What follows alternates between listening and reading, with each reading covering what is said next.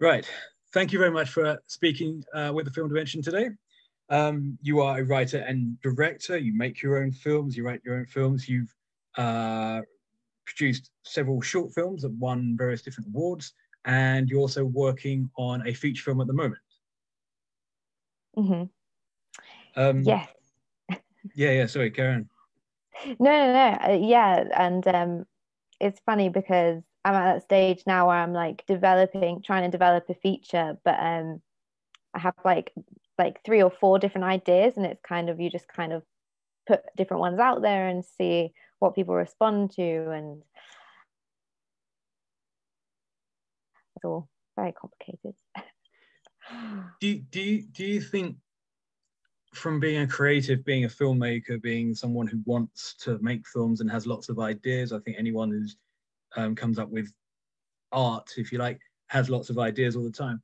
But somehow, sometimes the the mechanisms of the machinery of like, you've got to plan six six months a year in advance to make your feature film almost stifles the idea that you could wake up different days with different ideas in your mind and you just want to do do those things do you think that the process somehow spoils it i think that it's I always try and think of making a film or creating a series idea as an evolution because if you kind of hook on to that one thing and you have it really fixed in your head, you're ultimately going to be disappointed because filmmaking, as is life, is a collaborative, evolving process. And when you kind of accept that and eh, you know you let the ideas flourish on their own that's even like short films that I've made in the past. Now I look back and the idea, even though it's cemented on film, like I'm thinking of loads of different things I would have taken the character or how I might tweak the story or how I as a human just views that story now. Um, so it's kind of always evolving and I quite like that process. Um, I think when mm. I was first starting out, I was really sort of resistant against that and the collaborative nature of, of filmmaking in a way because you just think no it has to be exactly how the beauty of film is getting all these different voices and different creatives who are way better at things than I am. You know, if I tried to design a set or something, it'd be awful. Like I can't draw and I can't do any of these things. So ultimately, it's like giving and taking. You know, you present the core idea, and then everyone else kind of pitches in their their unique yeah. strength and make something even better than yeah. what you have in your head. Sure, sure. So, how did you get started? Um, when did you realize you wanted to make films? What was your process to make to get to the point where you made your first uh, feature, uh, first short film? How did that sort of come about? Well, I've always loved films, and growing up, I kind of watch films again and again and again. And like for me, films are comfort food. Literally, my hobby was just yeah. watching films. Um, so I always knew I wanted to do something to do with filmmaking, and um, I didn't really know what screenwriting was. Like I liked writing plays, but I didn't know what actually sitting down writing a screenplay was. And it was my second year of university. I um, I was working at my family business, my family's business, not my family business, my family's business in uh, Green Bay, Wisconsin.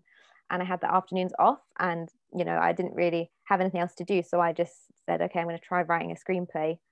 Um, and I got resources from online and taught myself. And I just fell in love with it and it kind of clicked. And I was like, ah, so this is what I can do. And this is how I can express all these films that I've got in my head.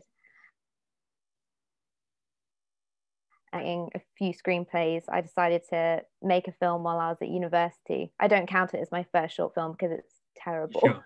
so sure. It's like hidden somewhere away on the internet that nobody is ever going to see. no, exactly. Um, but doing that, I just realized that directing was the thing I wanted to do. And um, luckily, when I finished university, I met a very famous film director on a train weirdly. Oh wow. Yeah.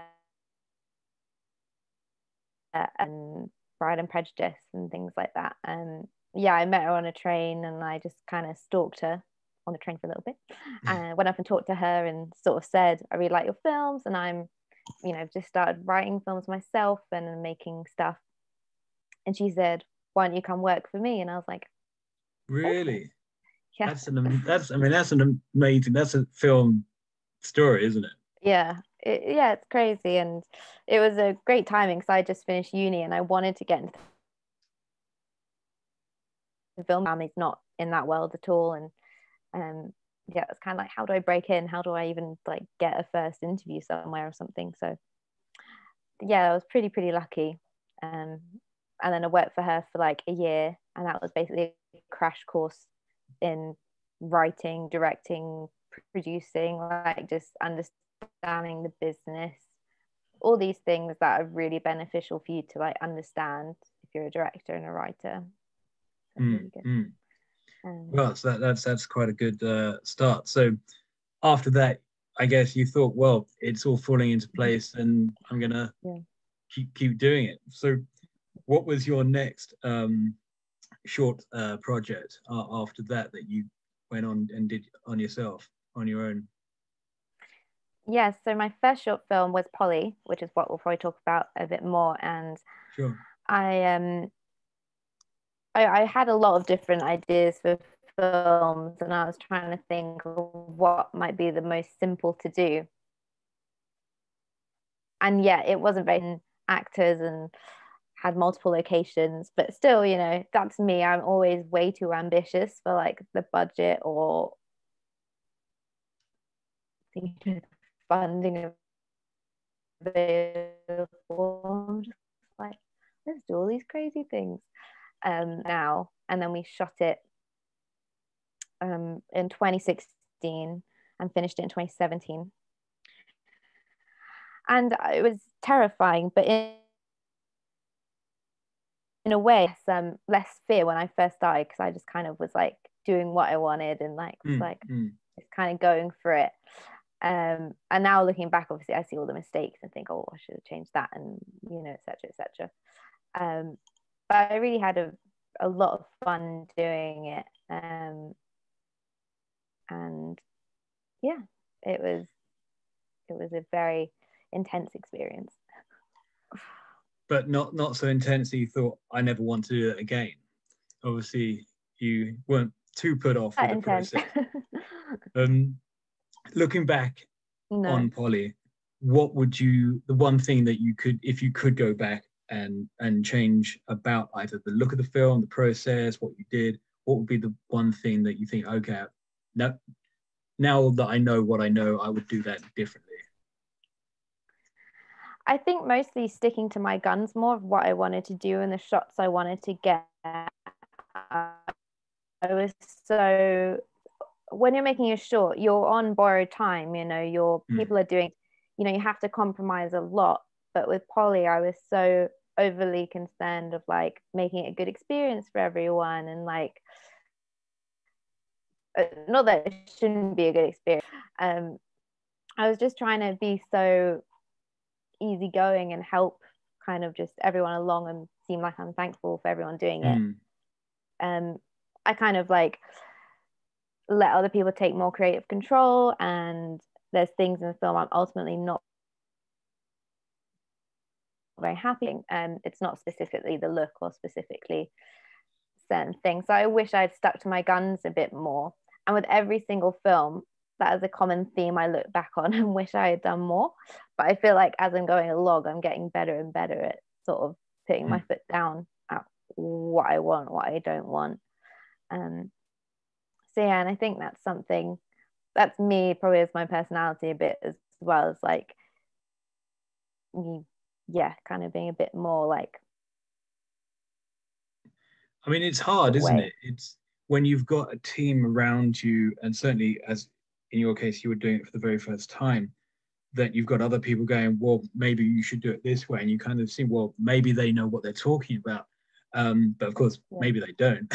but um, yeah it, it must be very hard. Hence why I guess directors have that reputation of sort of being difficult to work with or having a very, very um, precise vision of what they want to achieve. Um, mm. After Polly, what was your next uh, project after that? And again, how did that evolve from your approach and what you learned from the previous one to the one after that? Well, I was kind of just itching. Every time I finish a project, I'm ready to jump onto another one. Um, so again, I had a lot of ideas, and I wanted to do something quite different. Because um, Polly is kind of fantasy, it's sort of surreal, um, set in like a heightened world, and I wanted to do the opposite and do like a smaller domestic drama piece, really working with the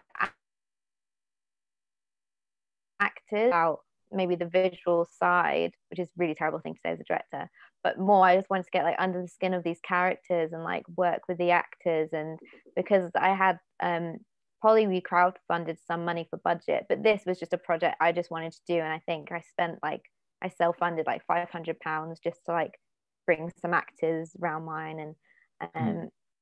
I got a, a friend um to get a DP on board like as a favor, which was very, very kind. He just kind of shot it for free. He was amazing. For me, it was quite like a different exercise, and I kind of wanted to work on a different directing muscle, I suppose you could say. Yeah. Um, and yeah, and it's a very small, like intimate family drama um, about a mum who kind of works as a bouncer behind her husband's back, and they don't she hasn't told her daughter about it and it's, it's just about this family dynamic and mm, and hmm. how mm. if you kind of keep secrets from one another that ultimately make things worse rather than better um, sure. Again from so that's from that kind of where my second film took me. Yeah yeah no i, I get that and it's, it's a sort of organic sort of pro, uh, progression. Um, mm again, from someone perhaps who's not made any uh, films yet that wants to get into the world of filmmaking, that want to go about their first short, um, from your experience of having made uh, a few short films, going through the festival route, all of that sort of stuff, ra- raising money.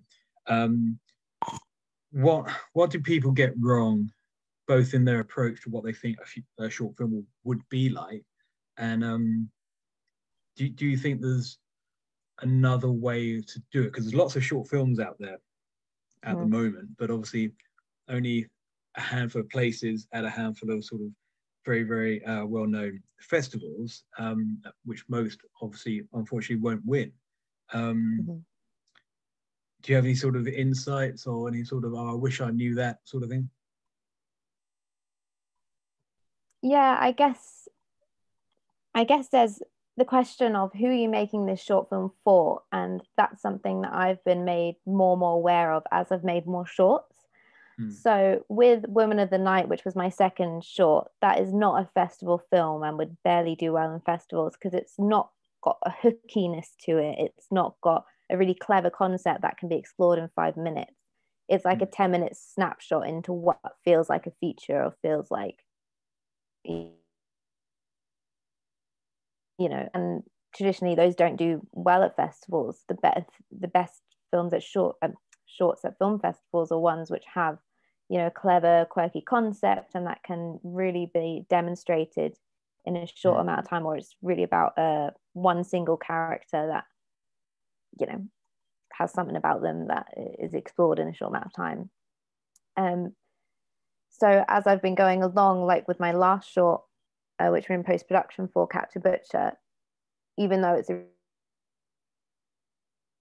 really, we were always aware of wanting it to do well at festivals. So trying to make sure that it was a certain length and that it had a certain production value and it had a certain um, concept which really was unique.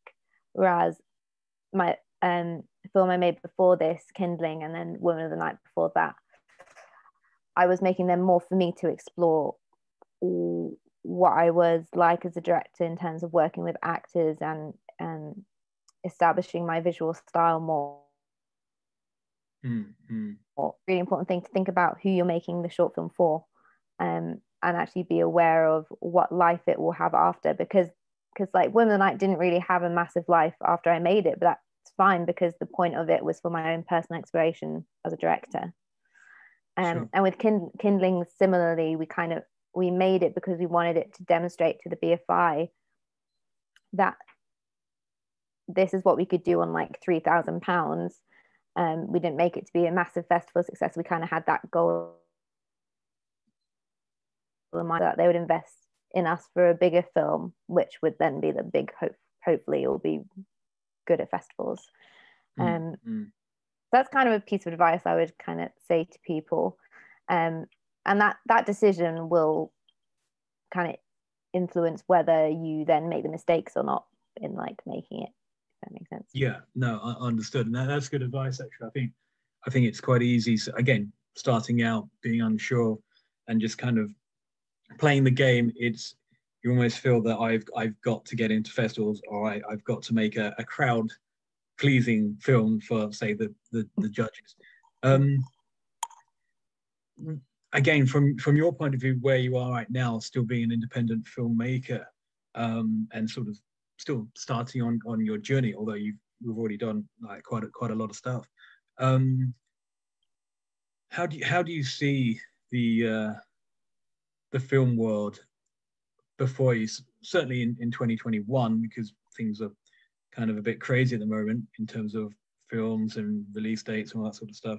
Um, is is the the film world inviting? Is it um, scary? Is there walls, glass ceilings, all that sort of stuff? Like, what, what's your what's your kind of thoughts on that? Um, it's it's quite hard for me to comment really because I think everyone's journey into the industry is so unique, and in by that mm. way, people who get into the industry usually are exceptionally lucky, like someone in it, um, and that's why like as kind of a young woman, I've actually been really supported in this industry so far. I haven't faced too many barriers. I mean, there's there's like smallish, not smallish, but things that maybe have happened which maybe haven't got the same opportunity or this, but because I've had such great breaks, I've actually mm. had a lot more opportunities than a lot of other people that I know. Um, so I feel like my direct experience hasn't been very, very, very hard. And I do kind of work like a machine constantly because you have to do that anyway. Yeah. Um, but I've been really fortunate in the people that I've met and the connections that I've made um, from really meeting Gurinder on the train. You know, that story's opened a lot of doors because that, that's the business, isn't it? It's kind of like who you know or like yeah yeah something, yeah. something quirky that might have happened yeah that kind of then gets through the door and if they then like your work and you then it kind of evolves naturally um and like I say, network fund funding. Um, I was really like we applied for it and got it the first time we applied, and I know that doesn't happen for a lot of people. Mm. Um, but then you could say that happened because I had spent the past five years making other shorts, which maybe on the face of it aren't as successful because they didn't go to festivals and everything, but they were kind of building a portfolio to then prove to a big body like BFI that were kind of worth investing in because um, we've done all this on our own so far and it like show and I think like with the cinema and I'm hoping that once kind of COVID's over, people will be craving to go back to the cinema and do like social events and I think they will. Yeah, I feel like it's going to be a cinema boom because everyone want to be going out and doing things. And I I've only seen two films in the cinema last year. No, wait, I saw three films in the cinema last year. And um, the last film I went to see was Saint Maud, and it was before our Cineworld closed. Right. And, and my own in such a long time. But I went on my own because my partner doesn't like horror films. So I was like, I'll just go and support Cineworld before it shuts. Um, and I loved the experience. And I was just like, man, going to the cinema is such an amazing thing to do. And like, I totally think when they're allowed to be open again and more films are coming out, yeah, I, am more optimistic than pessimistic that it's all going to turn onto streaming and stuff like that. Um, sure, sure. I mean, yeah, there's a place for everything, but there's there's yeah, still going to cinema is is an experience in itself that hopefully doesn't disappear.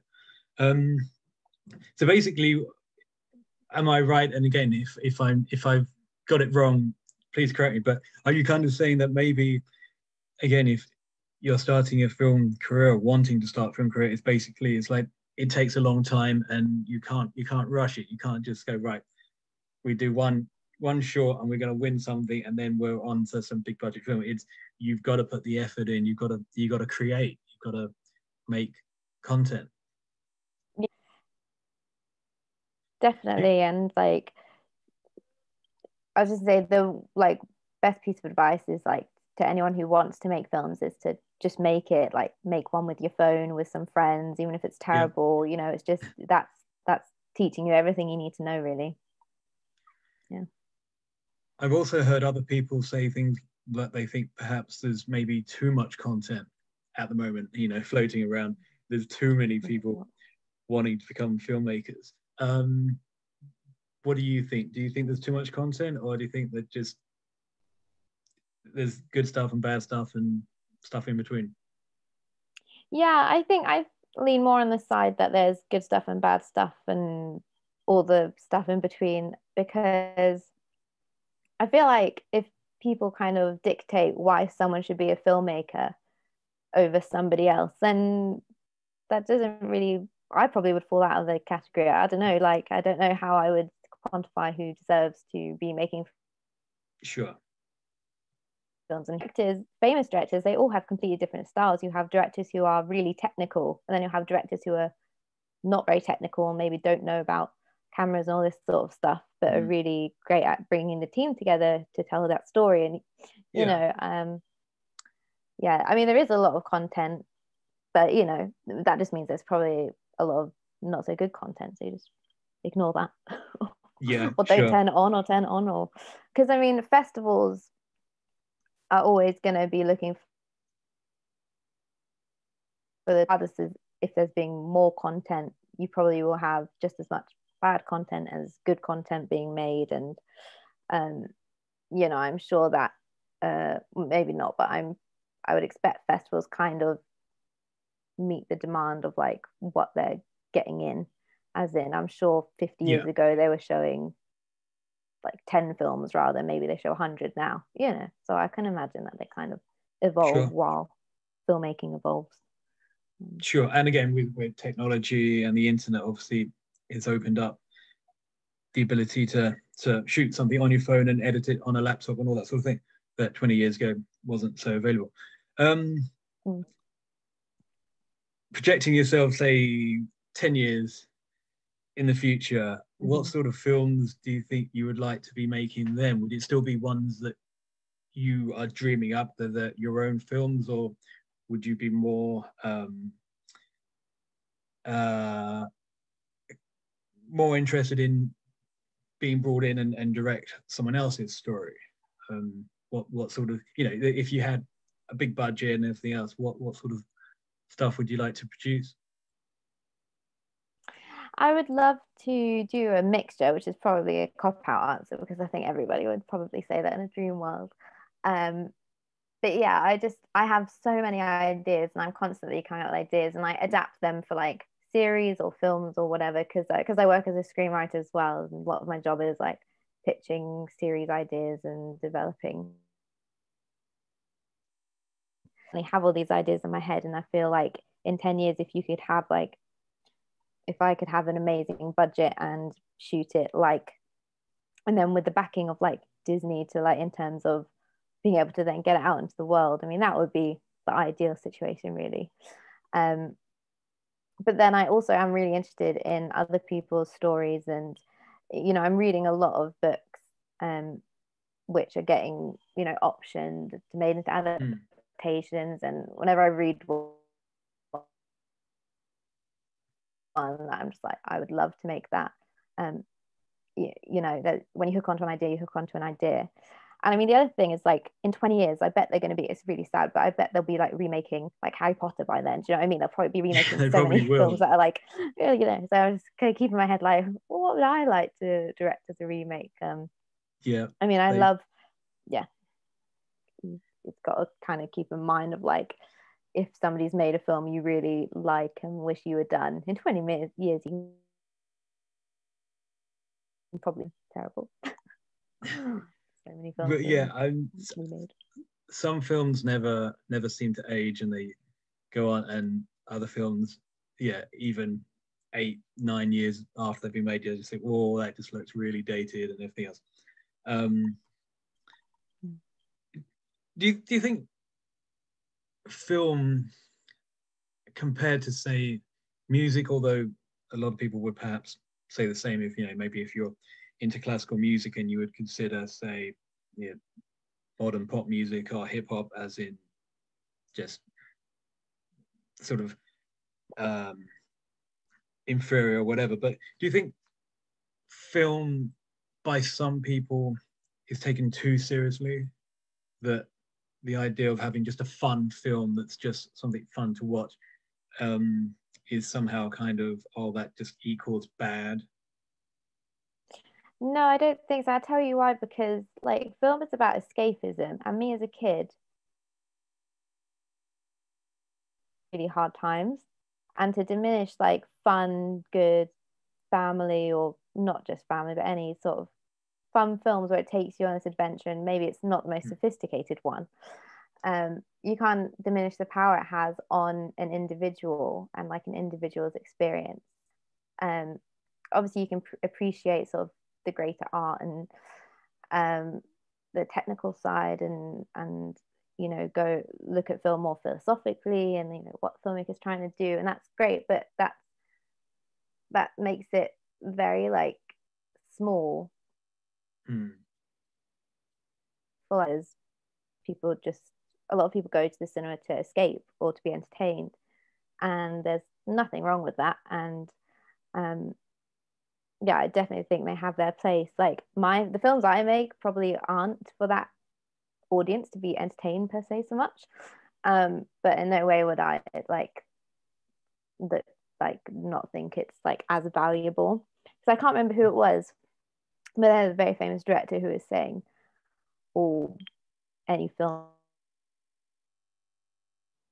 just to enter it's like no because that's you know it's a huge part of especially kids growing up you know yeah, them yeah. having watching something that's entertaining and giving them a sense of escapism like a lot of my favorite films i always have two lists of favorite films because i have my list of favorite films which like as a filmmaker i like will say but then i've got like my favorite films which are like i say like my comfort food which I love, mm. and I know they're terrible. Like I know they're anyone else.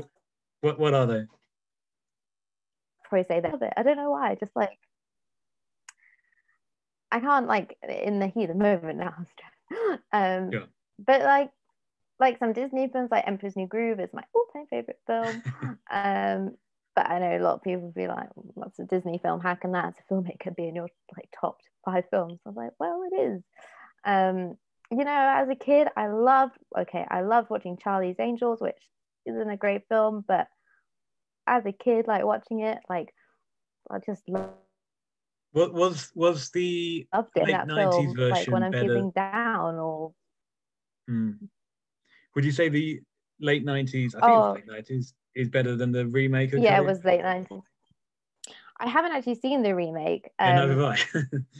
no, but um but the thing about like thinking about why I like Charlie's Angels so much, like when I was a kid, is because I think I went to see it in the cinema with my dad, and like mm. it's those memories that you put with the film like, as a yeah. kid. You're not watching it thinking this isn't very well made, or mm. You're just enjoying it for the story and like all the colors and all the fancy flying across. And you know what then is useful about those sorts of films um, is obviously they have all the martial arts and stuff. And from that, I started watching Jackie Chan movies because I was like, oh wow, all these mm. like fine. And then I ended up watching some older uh, Chinese cinema, and you think actually that is it's a way that I can introduce you to then yeah the yeah yeah more respect proper art, you know. Um. Sure. No, I I I totally get that. Um anyone who's interested in what, what you're doing, what you're about to do, future um, projects, that sort of thing, um, what's the best way to follow you on social media? If if if you do social media, not everyone does. But... Yes, I do. I'm um, on Twitter, Instagram, and Facebook, and it's all the same handle, which is Cassiah JJ. So just my first name, then JJ, um, and it's all like on my website and stuff. Um, and there I post about what I do to post a bit more because um, it's been hard as well in the pandemic because you yeah. know not much been going on but also like film work in general takes so long to for sure. anything to move or happen and a lot of time you have to like keep it under wraps like because we were yeah. doing with catch a butcher and we're uh, working with the bfi network who've like funded um, part of it like we weren't allowed to say we were working with them for months months months. So it was like mm. I couldn't it was sad. There you go. But but you can now? Yes i can. And um when when are you hoping to have that um complete and out. Uh, again i assume it's going through the festival route. Would that be later on this year or? Yeah so we're hoping to finish the film catch a butcher next uh, month. So like end of february time. And then kind of aim for like festivals uh, that would be on in like september february time 2022 Ooh, that's a long way away but it, it will is. probably go really quickly. Sure. Um, yeah and then, like as i said like our aim for this film like making this film is for it to do well on the festival circuit um hmm. and that was like our my purpose in my head for making this more so than say on my other films so mm-hmm. we'll see if that comes to fruition or not yeah well fingers crossed and um we'll we'll speak again as and when it's about to be you know uh given awards at bafta or who, who knows um okay Thank you. Well, yeah, fingers crossed. And and and why not? Because literally, it's that's a funny thing, isn't it? It's you you can literally come out of nowhere, although you haven't come out nowhere. Clearly, you've been working away at this for a long time. But from from a bigger perspective, that you can submit a film that just takes people and and moves them, and they just they get what you're trying to do, and then it is like overnight success. But of course, the overnight success was like five years previous build up to that. But um, yeah, anything anything can yeah. happen. Um, yeah, no, I completely agree.